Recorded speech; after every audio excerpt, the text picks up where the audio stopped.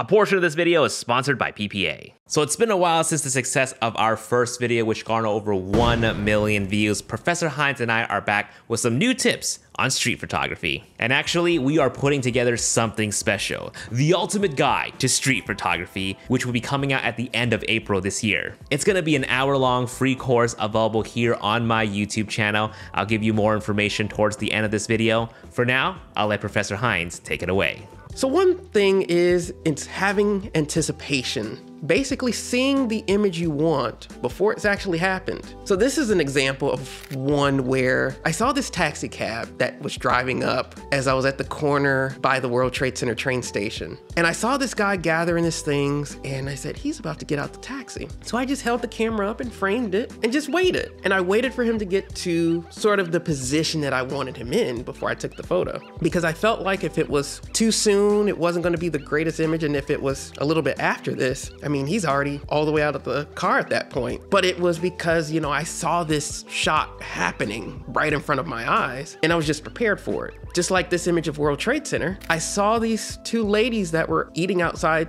the building and I wanted to capture photos where, you know, the building just looks so massive behind them and they're just really microscopic in the photo. But then I thought, hmm, can I actually catch somebody walking in the frame to where I frame someone's legs in front of me, but then you can still see them and that's it. Like there's nothing else in the frame. You just see the two people there and the person walking in front in this massive train station. So I was just camped out waiting for that shot to materialize. Now, of course, there are those instances where I could be camping for a while. I don't get quite the shot that I was looking for, but in this instance, I did. Now I was trying to be greedy and I told Jason, can we get a second one like this? Unfortunately, that didn't happen, but I was happy with this. To be fair though, this would have been the second photo. I actually messed up the first one to where it's out of focus. That happens too. Yes, I do make mistakes. I'm content with that. I just move on because I ended up catching this shot, which I thought was really good. You win some and you lose some.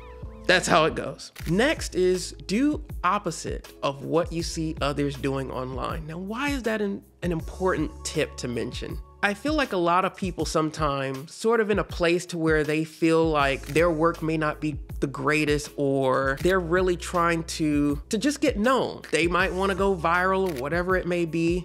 And so they're not really putting themselves in their work. They're trying to be what everybody else is. But that's not true to yourself. So when I'm actually out shooting, I've gone through, I mean, we've all been there. We go through Instagram, we go through TikTok, you see all these videos, you see all these pictures of where people are in these places and you want to go there and take pictures just like them, right? Well, I will do that, maybe take photos of something similar that I saw just to have it in my portfolio have my own version of it. But I, I don't ever specifically go to a location to replicate somebody else. I try to find what is it that I can do differently. Can I compose this differently? Can I use a different lens from them? Can I just focus on a specific region that maybe their shot was a wide photo? Maybe I go a telephoto approach, which, you know, I'm trying to do different things like that. So that way when people see my version, it's something new, it's something different.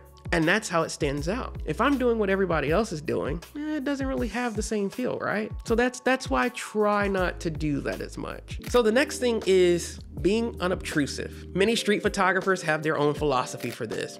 Some don't mind being up front in someone's face. Whereas for me personally, I don't like doing that. I like to give people their personal space. I don't want people to feel like I'm a threat to them. I want people to feel comfortable. More importantly, I don't want people to notice me to begin with. But, you know, should they notice me, I don't want them to feel like I'm coming into their personal space in any way to where they feel like I might present harm to them or any kind of threat. So like you look at all of these images here where I'm actually on the subway. Many always wonder, how do you get away with taking photos like this where you're in a confined space on a train? Here in New York, it's sort of easy, I must say. I mean, we did a full production with cameras. I'm wearing a, a GoPro. Not one person noticed us the entire time. I kid you not. So New York people are a little different, I must admit. But in some of the other areas that I have gone, no one really cares or no one notices me because I don't put myself to ever be noticed. And that's very important to me. I don't do photography to, to make anyone feel like they're being threatened or anything like that. And I don't do something with other people that I wouldn't want done to myself. And, you know, I just don't want to be recognized. you know, that's the thing. We interrupt this broadcast to bring you a very special message from our sponsor, PPA. Now, PPA is a fantastic resource to help you become a better photographer and running a photography business. They have over 900 online videos which you can watch at your own pace. And this month, they wanted me to remind you about their $15,000 worth of gear insurance. That means you get full replacement coverage with a flat $350 deductible, or you can repair your equipment with a flat $50 deductible, and you can get all these benefits here for just under $28 a month. PPA also offers data loss prevention services in case case your memory card or hard drive goes kaput. Pray to the camera gods, that doesn't happen. To learn more about any of this and other benefits, check out my link in the description box below, which you can also use to get $25 off your membership when you sign up. All right, thanks for listening. I'm gonna throw it back to Professor Hines for some more fire street tips. So the next thing is viewing everything by focal length over time, I've sort of mastered the art of whatever I'm looking at, I try to analyze it based off of looking at it through a lens. Whether it's a 35, whether it's an 85, whether it's a 40. I try to visualize everything based off of focal length. The reason for that is because, number one, I have nine prime lenses. I am not taking nine prime lenses out on the street. I'm not doing that. At the very most, I'm usually taking three, maybe four lenses for street. So because of that, I need to know exactly what gear to actually have with me. What mindset am I in?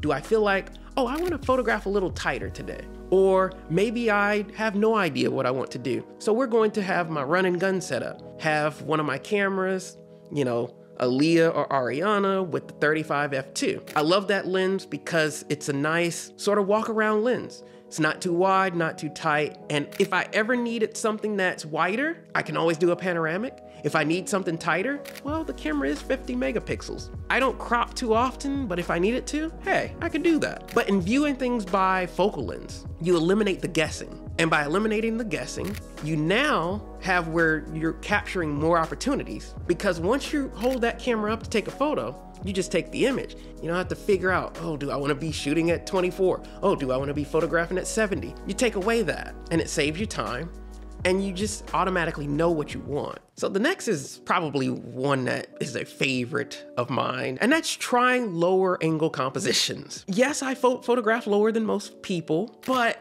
as you look at some of these images, you kind of maybe see why I do that. I just think it's so pretty when you're actually taking a lower angle and aiming up into your subject because you see more of what's around. I usually have my camera either down at my chest or I just bring it all the way down to the ground.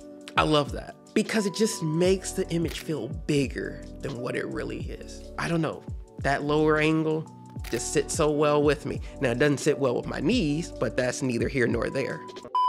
Now, before we move on to the next few tips, just a friendly reminder that the professor and I will be putting together a full-blown, full-process ultimate guide to street photography. From the gear to the shoot, right down to the edit. In that video, we'll be following the professor into the streets. We'll be learning about his whole thought process, his approach to lighting and composition, as well as an interactive editing tutorial that you can follow along to. Trust me, this is going to be epic. And actually, you guys have been seeing some sneak peeks in this video already. So make sure to subscribe to this YouTube channel right now if you haven't already yet. And I don't often ask you guys to do this, but please turn on that bell notification to be notified when that video drops. Or just follow us both on Instagram because I'm sure we'll be posting a lot of stories about it. We would greatly appreciate it if you guys can check it out the moment that it becomes available. Anyways, I'll let the professor wrap things up here.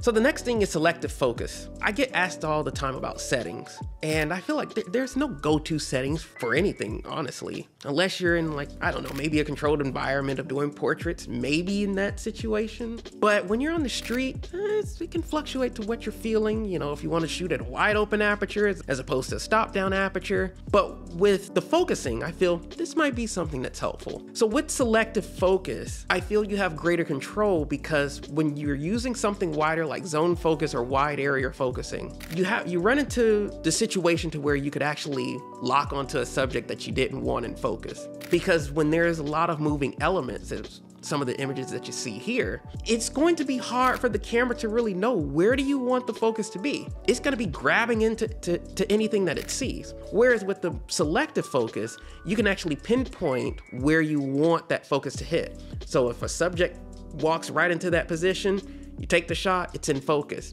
And then a lot of the cameras now have where you can actually touch the screen and move quickly where that focus point is. So it just makes it a lot easier.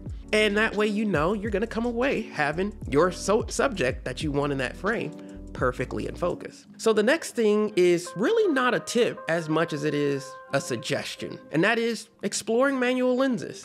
Why am I suggesting this? Well, for one, I feel that it sometimes slows us down to where we can actually enjoy the actual scenes that we're in, the actual places that we're at. Over the pandemic time, I decided more so switch to manual lens usage as opposed to autofocus. I was noticing that I was making significant mistakes that I typically didn't do, and I, I felt that I was becoming careless in my photography. So I decided to go back to shooting manual for a bit, and what turned into a bit has turned into a longer period to where I have favored more of the manual lenses for over two years now, and I absolutely enjoy it. I'm now taking time to actually look more into a scene and to choose a specific composition as, as opposed to, oh, that's a nice shot, let me take the picture. And then I, I just walk. I actually now have to, ooh, that's a nice shot. Let me look through because now I have to adjust the focus. I think I have more fun with photography now. I definitely enjoy it more because I feel like I'm taking more quality images. And that's why what I love most. That's why now, you know, I shoot with the higher megapixel camera, but I don't take as many images. And everything that I take, it has to be something that I really, really feel for me to actually take that photo. And I feel like you really become a part of the art as opposed to just taking the images and just sharing them for social media. I feel like you really build a better foundation and produce more quality work. At least for me, I feel like I have personally produced the best work of my life since I've switched to manual lenses again, and I absolutely love it. So hopefully these new additional tips are something that's helpful, something that's useful, and just gives you sort of a look into my sort of change within the last two years, and maybe there's something that, that's helpful for you. But the best thing is, is just go out, try everything for yourself and see what works for you. What do you like in your pictures? And what do you feel is 100% you? Because at the end of the day, you have to be happy with your art. Your art should be an extension of yourself because it's, it's an expression. So go out, enjoy it, and capture great art. Thank you guys so much for watching and don't forget to subscribe to both of our YouTube channels and follow us on Instagram and we will see you guys in the ultimate guide to street photography.